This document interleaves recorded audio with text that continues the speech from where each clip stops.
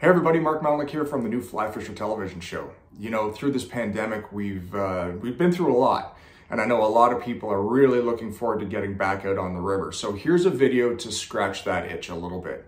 Last summer, I was fortunate enough to fish with Pete Shanafelt from the Bighorn Angler, based out of Fort Smith, Montana. We had an unbelievable week fishing the Bighorn River for big rainbows and big brown trout. So if you're ever in Fort Smith, Montana or in the area, give the Bighorn Angler a look up. You'll be glad you did. Enjoy the show.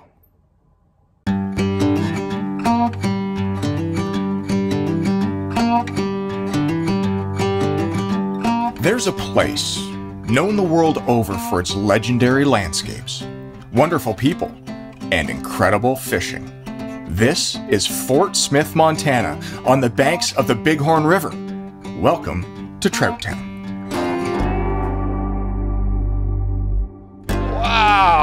Fish is hot. Coming up on this episode of the new Fly Fisher, we're hooked up to a giant on the legendary Bighorn River with Bighorn Anglers. This big fish adventure is coming up next on the new Fly Fisher. what a fish. This is unbelievable.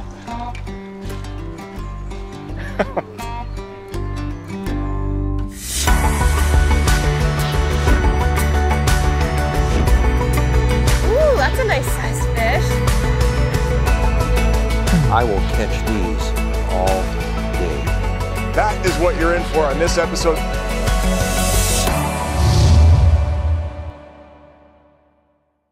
The new Fly Fisher is supported by Bighorn Angler Fly Shop, Orvis Fly Fishing, Adipose Boatworks, Scientific Anglers, Trout Unlimited, WeatherTech Canada.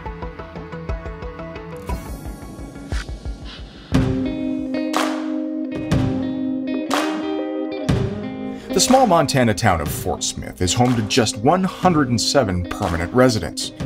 Pretty near every single Fort Smithian is here for the fish. Be it the multi species found in massive Bighorn Lake or the unreal trout fishing on the famed Bighorn River, There's some fish in here. there are three fly shops on the main strip, all next door to each other, and I'm here to tell you for a sleepy little Montana trout town, Fort Smith is absolutely hopping. We're here for the trout. We're guests of business partners Pete Shanafelt and Mike Dewey. Bighorn Angler is the heart of Fort Smith. After all, their slogan is where the legend began. One of the great things about the location of the Bighorn Angler is its proximity to the river. With multiple launch options, all within a short drive from the lodge, we load up and drive literally a minute and a half to our first put in. Pete is our guide for this week, and we decide to start with two simple nymph rigs. This is Pete Shanafelt. He's the co-owner of the Bighorn Angler Fly Shop and Lodge. If you're looking for the ultimate in Bighorn adventures, you got to look these guys up. It's absolutely amazing. But this is the world famous Bighorn River. What do we got going on today? Well, we're in prime summer mode here on the Bighorn. We got a lot of PMDs popping off, caddis, some terrestrial fishing. The nymphin's been great in the morning. It's just an awesome time to be here. All right, let's get this boat out. We'll get see what we can do. All right.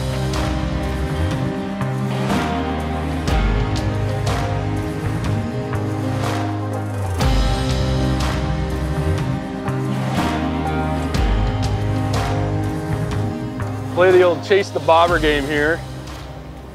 Fish, nice. How sweet is that? Not two minutes in. That's a good one too. Saw a flash of it. Now are we catching browns and rainbows up Brown, here? browns and rainbows, a lot of browns up here. This is probably going to be a brown. Um, but good healthy size up here. A lot of 15, 16 inch fish, all wild fish.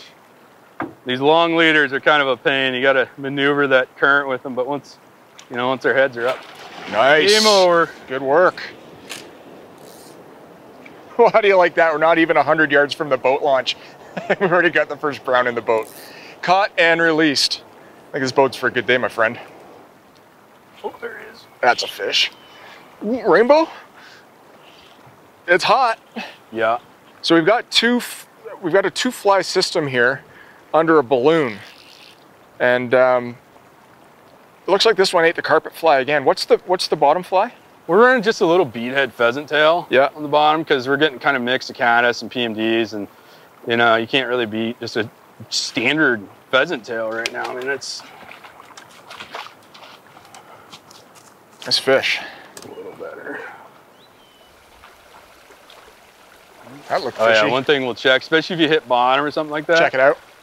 Yeah, we just hit bottom. It's a good idea to check it. We got a lot of vegetation in the bottom of the river. This is kind of a cool little trick. Instead of there's a couple different things, but this is one of them. You can get the middle fly, pull it hard, flick the moss off.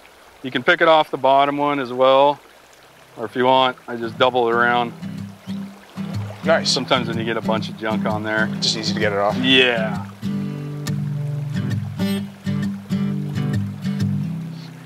Oh, what's interesting is, you know, there's always a tendency to fish the, the money stuff right away your, on your first cast, right? And you cautioned me against that and asked me to fish close to my person.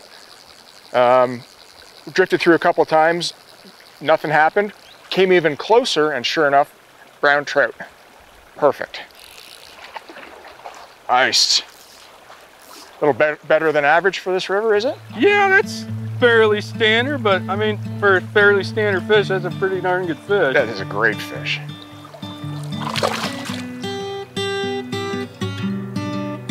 Oh, that one is Yeah, was super shallow. super shallow, and it, I mean, it just stopped. This is a good brown. So Pete switched up the rig for this stretch, and he put a shorter nymph rig on than what he likes for the bighorn. This is a good fish.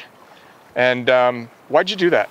Well, what's happening right now is these foam lines, and there's not, they're not everywhere on the river, but they collect so many bugs drifting down these convergence zones you can see come off these shelves.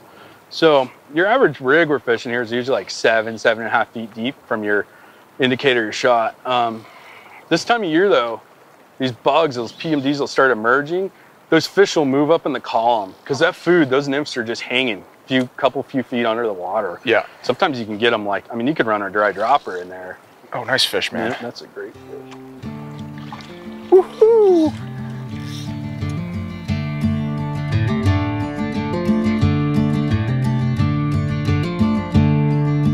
We round a big inside bend, and Pete spots heads feeding regularly in very shallow water. We're watching a couple of really, really big brown trout on this inside bend here. Pete, how deep is it and how do you want me to fish it? So the water they're in is probably maybe a foot, foot and a half of water. They're eating these bugs that are getting pushed inside this little soft riffle here. We're gonna approach them from behind here. Um, common tactic on the bighorn. We're gonna kind of get a little behind and to the side of them. Um, try and land our fly mm, two, three feet above them. Don't want to throw too much line over them. Obviously, we got high sun right now, so these fish are going to be pretty spooky. But uh, yeah, and this is this is a big fish we're hunting up here, so um, hopefully we'll we'll stick them here and not run them off. But we'll see what happens. No pressure, right? yeah, no pressure. Don't, yeah, just don't screw it up. All right, don't screw it up and everything will be uh, fine. Yeah, and put the sneak on them. Oh, did you see that? Yeah, because he's kind of moving in and out. Where'd he go? Are you kidding me? They shouldn't be that spooky. We worked these fish seemingly forever and couldn't get an eat. Talk about frustrating. Talk about fun. We see a new pod coming towards us from downstream and change groups. Nice. we have worked so hard for this fish. We've made 15 fly changes. So we broke out a, a Royal Wulff, caught a fish, lost it, and now we've got a quill Gordon on. So always have those old patterns in your box. You never know when they might come back. this is a good fish. That's a good one. Yeah, and a great eat too. This fishery is just so fantastic. Nice. Look at that. Look at that. Look at that. nice, nice fish. Oh, ho, ho, ho. look. That's the kind of fish that they make stickers out of.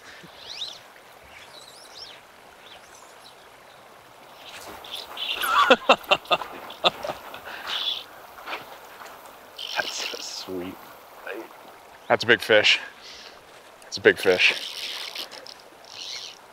Now, what's interesting is I couldn't see the fly because I'm looking right into the sun and I'm casting upstream to this big brown trout. So I did something called fish the rise. I knew approximately where my fly was. And uh, as soon as that fish ate it, I knew to give it a half a second and then set the hook. How about that, Ned?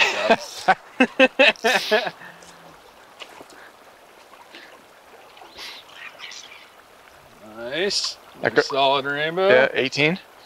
Yeah, 17, 18, right in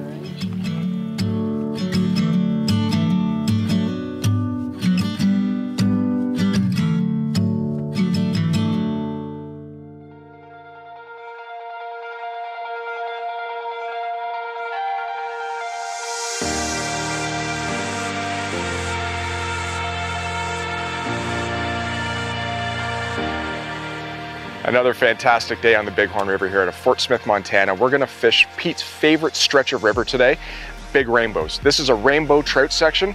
Yesterday was browns. Let's see what unfolds.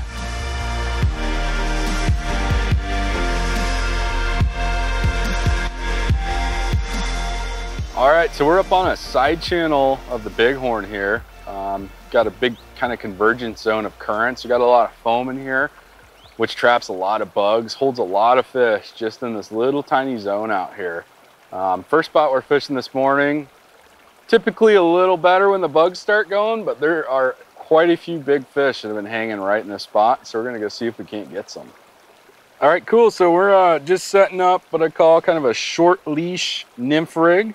So I'm gonna start at the top. I've got just a butt section here, maybe, I don't know, 18 inches or so.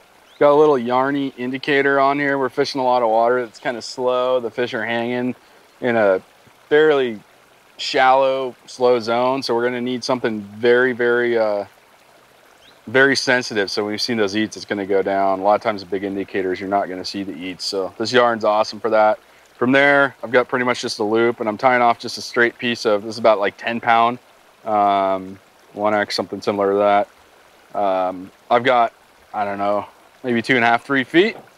Then again, kind of like our nymph rig, got just a little swivel, little putty on there. From there down, I'm running 4X fluoro and 4X fluoro to both flies. So again, 16, 18 inches or so to that first fly. And right about the same to our second fly there.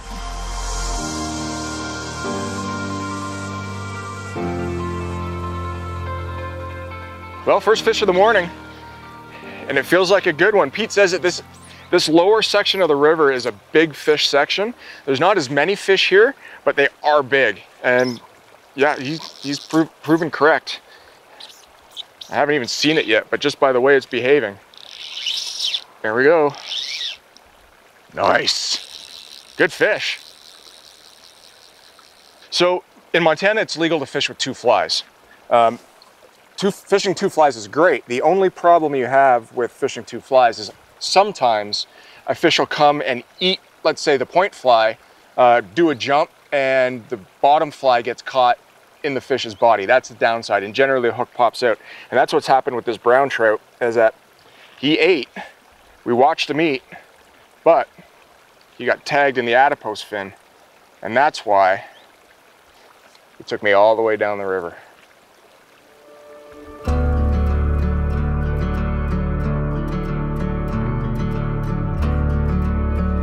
We've decided to fish this spot exclusively all day today for good reason. If you look at the river dynamics in this pool, it really has everything fish would be looking for.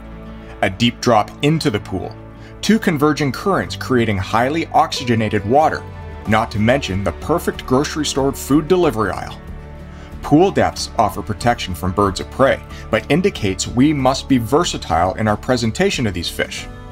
We know as the bug activity heats up, fish will push into this pool and pools like it to feed easily. This kind of pool structure is a favorite of Pete's because the fish will eventually start surfing the pool, meaning they will use the complex currents to ambush emerging bugs. It's midsummer, and the PMD hatch has been absolutely incredible. The fish are your indicator to the emergence of the hatch. This phenomenon is actually visible to the naked eye, as seen from above, allowing a watchful angler to present their nymphs to sight casted fish while waiting for those fish to switch to eating dry naturals. Oh, this is a good one, Pete. Looked like a good one. It jumped. It looks like a big brown.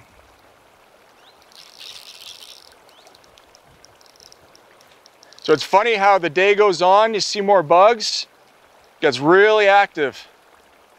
Starting to move. Starting to eat. Nice. Big rat, is it brown? Brown, big brown. So fishing with a yarn indicator, uh, as we have been today, is a unique way of upping the level of sensitivity when these fish eat, isn't it? Oh yeah, yeah. I mean, this thing literally moved probably two millimeters. yeah, It hardly budged at all. barely, And you set right on them and Yeah, and look at the result. A gorgeous, gorgeous 18 inch brown. How do you like that?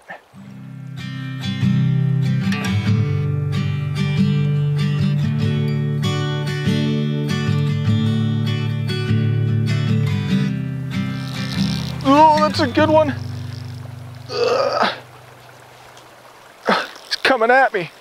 no, oh, there he goes. Yeah, so these yarn indicators are the most sensitive thing I've fished with, and any unnatural movement that you get, a little tiny tick, any kind of movement, set the hook. As guides often say, hook sets are free. And now I cringe to think how many fish I've missed over my career because I haven't set a hook on on a uh, on an unnatural movement on on a indicator. So a nice rainbow. Nice rainbow. Right in there. Speedy delivery. That's a good looking fish too, Pete. beautiful fish. Big bow. Very cool.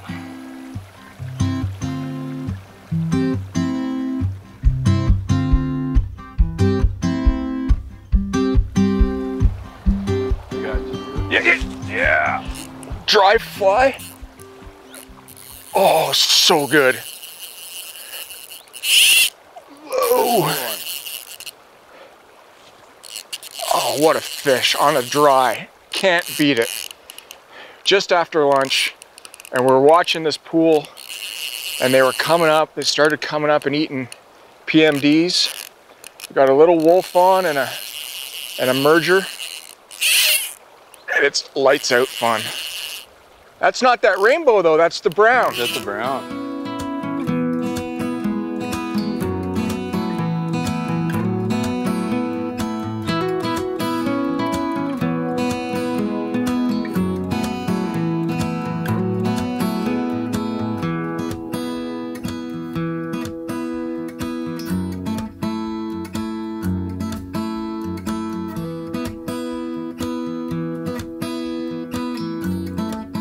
I fished a lot of places, and um, I would say that this is this is right up there with any any river in the lower 48, if not the world, uh, from a trout perspective.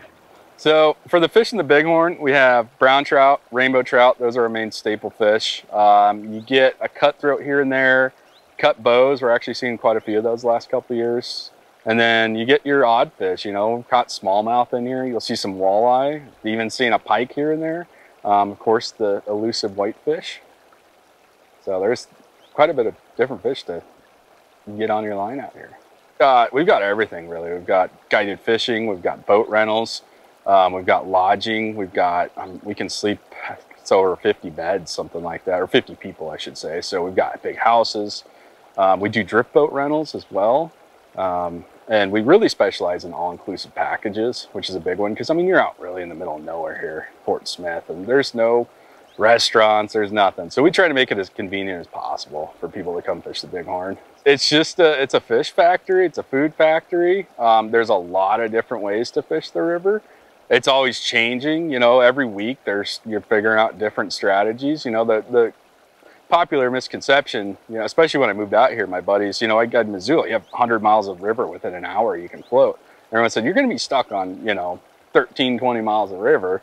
But it's really not. I mean, some of these runs, you know, like we're sitting in some this morning that you know, those fish get going. I mean, it's it's unbelievable to see how many fish um, show up in some of these spots. The other thing is the re resiliency, if I can get that right, uh, of the of the fishery. I mean, it, I haven't seen too many rivers that handle pressure well. And, you know, at times we do get a fair amount of pressure, but I mean, the fish just eat. We have so so many bugs, and it's it's just cool. It's uh, you know, it's it's it's a pretty amazing place. Um, you know, it has its little ups and downs here and there, but for the most part, it's pretty awesome. Yeah, I mean, it's absolutely there's and, and, and we got a like we are just talking about. We got a wide time frame, so it'll fit your schedule at some point. Um, the convenience factor, everything we offer here with the the packages, um, lodging, it's it's very convenient. It's very price point affordable. Um, you know, you're not spending bajillions of dollars. And, then, I mean, our you know staff, the guides are, I mean, some of the best on the river that we have. And you will, I, I can almost guarantee you fish. I, I don't want to say that, but pretty darn close. The next day, Pete asks if I'd like to fish saltwater. Puzzled, being in Montana, I told him it was one of my favorite things to do with a fly rod. So we loaded up and headed out. Not to the ocean, but to Big Horn Lake, a multi species big lake that has a unique fishery available. Fishing for carp. Yep, carp, the golden bonefish. What an opportunity.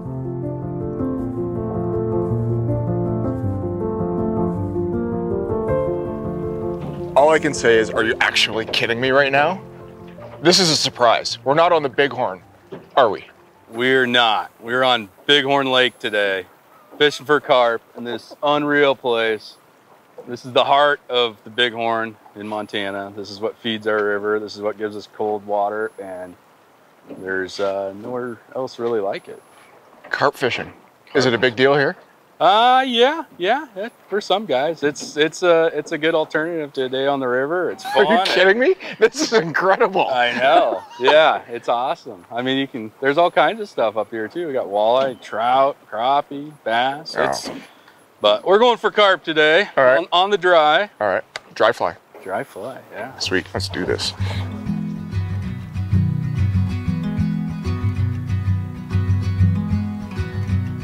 Fishing for carp is not unlike fishing saltwater on a flats boat, whether you're fishing for bonefish permit or, or what have you. Um, there's some things that you should be ready for because you got a quick shot to make. So what I like to do is number one, strip out as much line as you're comfortable casting and have it reversed at your feet. When I say reversed, I mean strip it out, cast the line out, and then strip it back in so that you're not actually casting the bottom of the, of the fly line first. Secondly, most importantly, I like to stretch my arms out with the rod tip all the way out. That gives you enough uh, line and leader outside of your fly rod that you can actually place a quick cast and get that fly line moving real quick. So just a couple of quick tips to be ready because when those carp come in, you need to be able to present that fly super quick.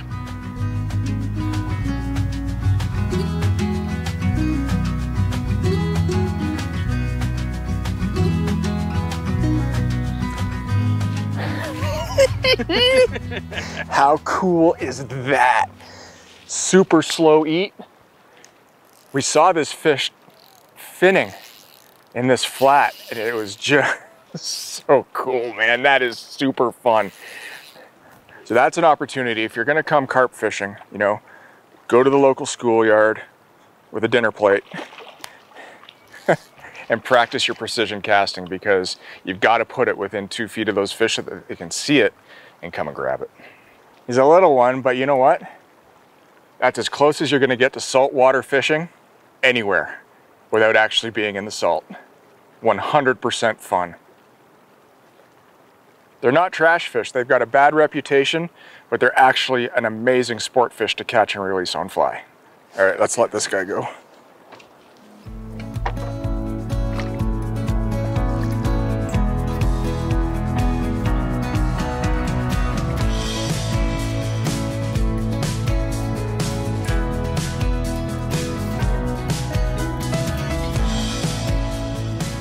All right, so one of the cool things about fishing for carp, and you're gonna think I'm absolutely crazy for saying this, but it's kind of like fishing for cutthroat trout.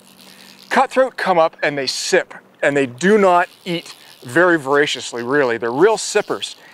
And it takes a little bit to get used to that when you set the hook on a, on a cutthroat. These carp are the same. They're very gentle sippers. And you actually have to wait for them to come up and go back down on the fly before you set the hook. And it's not a trout set. It's a gentle lift. They got really rubber lips and that hook buries in and chances are if you hook one, you're gonna land it. And what's neat about what we're doing here is Pete's got us positioned against this cliff bank and it's a spectacular environment to fish in. But what he's done is he's got himself situated so that he doesn't have to do a lot of work. The fish are coming to us and they're actually tailing. Their backs are out of the water. You just wait, you make that precision cast, wait for them to sip it, fall, come tight, and it's game on. Super fun. All right, how fun is that? Now, another thing about carp is they're very hardy fish. I mean, you don't want to keep many fish out of the water for, for very long, but these ones, you can really take your time, get some awesome photographs, and then let them go.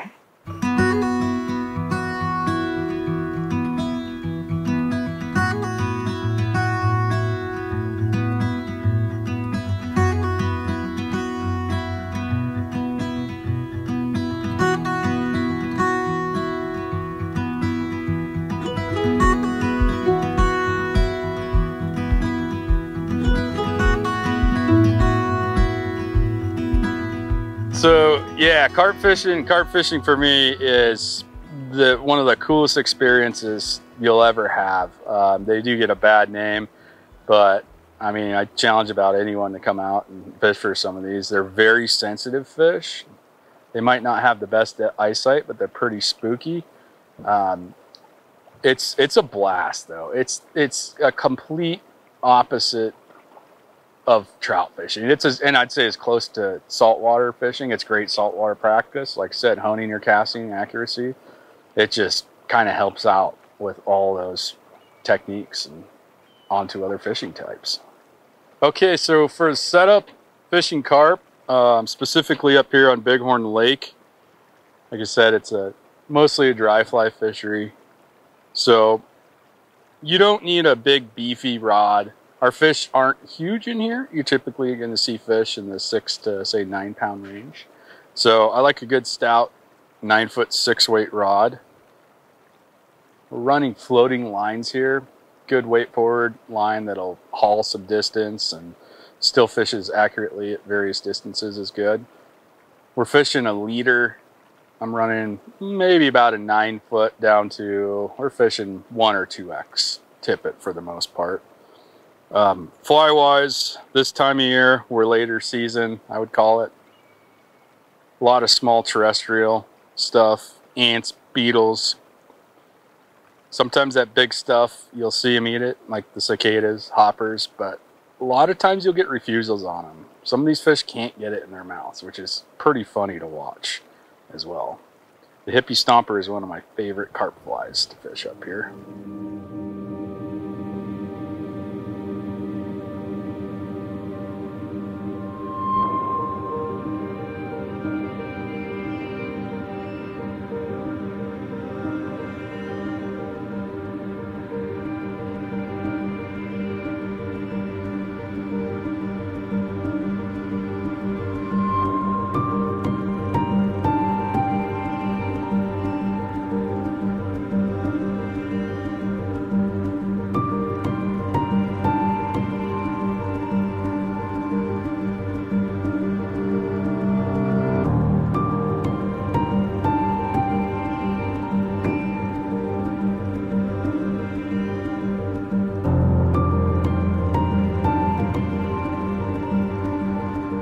The number one thing that Pete and I focus on from a business perspective is just making sure that, you know, um, year in, year out, we've got the best.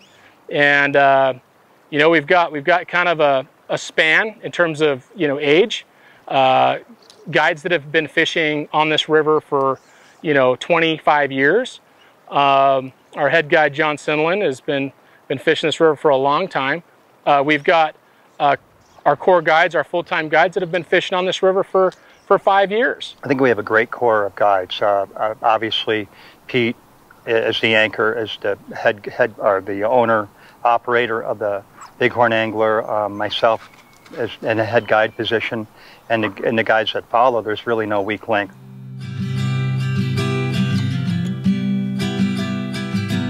One of the most important pieces of structure one can use in a river is a bubble or foam line.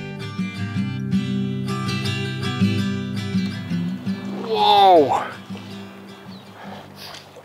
So we've been searching for a, a unique foam line today to try something different, to try to see if we can get a fish out of a fast water foam line.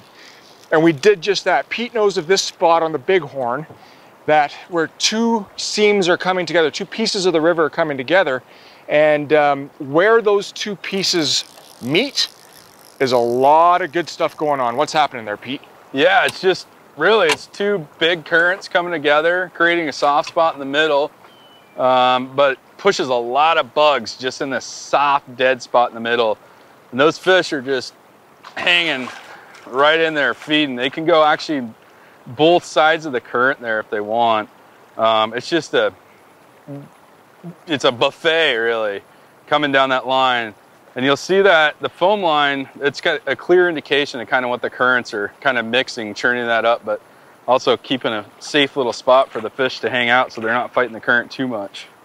So whether it's a, a foam line from uh, um, a riffle or two pieces of the river coming together that collide, that is where the protein is and that's where you're gonna find the fish.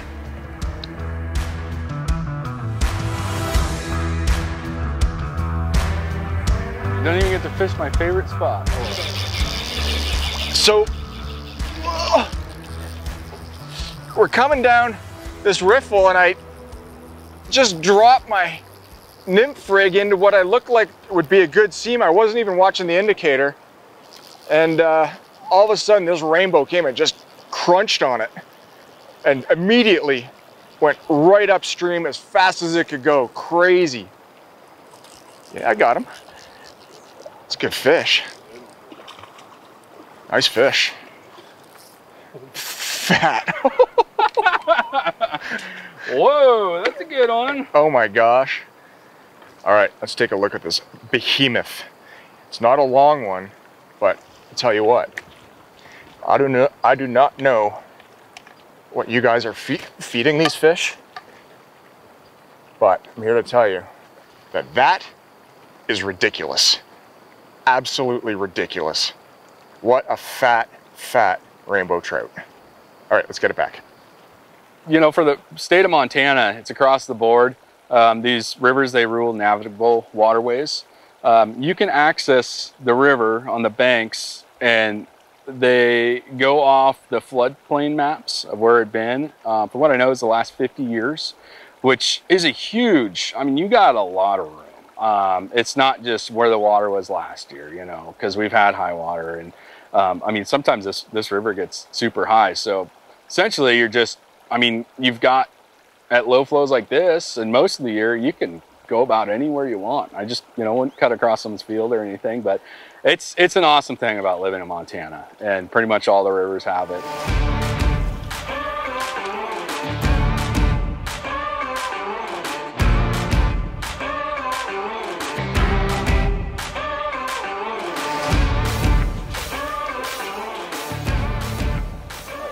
There's some fish in here. There's a couple. Here's the fun part, trying to land them. Got him on the reel. Oh, Jeez. Pretty violent. yeah, pretty violent. what a fishery though, man. Pete added some more tungsten putty to get down a little faster, not come up. And uh, that helped. Two, two drifts, two fish. Lost the first one. We'll see if we can get the second one to hand. Oh, that's a giant. Yeah. Dude. I think I, I- you're surprised. It's bigger than I thought it was. oh my God. Let's take a look at this. Dude, this is the fish. Is this a big brown? Dude. Oh, dude, biggest brown trout of my life. Are you serious? You say that every time. I don't. How do you like that, huh? How do you like that 22 inch brown trout on a pheasant tail waiting in Montana? Just perfect. Well, how do you like that? That about does it for this episode of the new Fly Fisher. That was a fish of a lifetime. I want to thank everybody at the Bighorn Angler, Pete Shanafeld, Mike Dewey, and the entire crew. We had a trip of a lifetime. The legendary Bighorn is truly legendary. It is. Thanks, for everything, man. Thank you, Mark. For everybody here at the New Fly Fisher, thanks for watching. My name's Mark Melnyk. Adventure is out there. All you have to do is go and find it. And what better way than to do it with a fly rod in your hand? Thanks for watching, everybody. We'll see you down the road. The new Fly Fisher is supported by Bighorn Angler Fly Shop, Orvis Fly Fishing, Adipose Boatworks, Scientific Anglers, Trout Unlimited, WeatherTech Canada,